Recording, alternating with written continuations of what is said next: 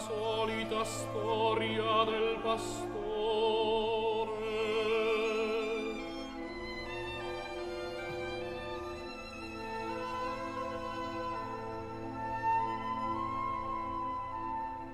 Il povero ragazzo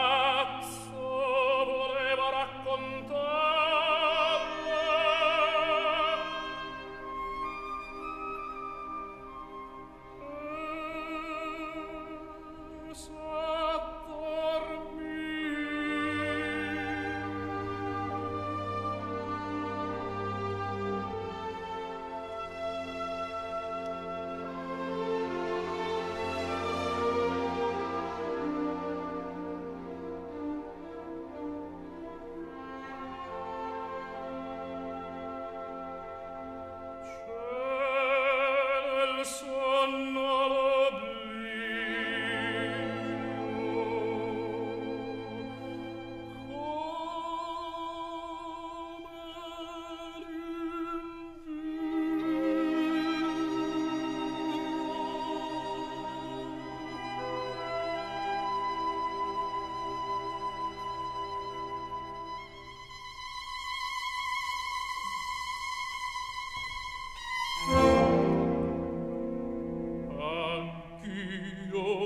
vorrei dormir così. Nel sonno almen lo